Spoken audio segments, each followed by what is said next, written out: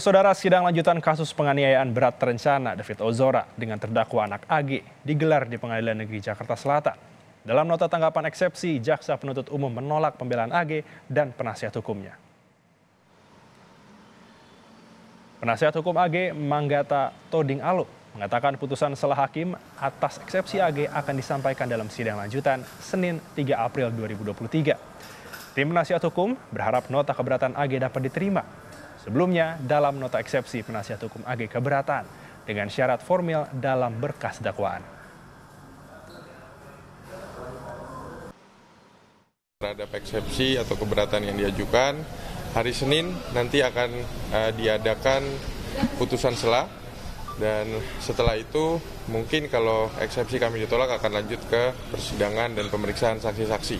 Pastinya kita akan memaksimalkan saksi yang diajukan dari uh, pihak penuntut umum dan uh, kami akan mengusahakan juga ada beberapa ahli uh, dan saksi yang akan diajukan di persidangan.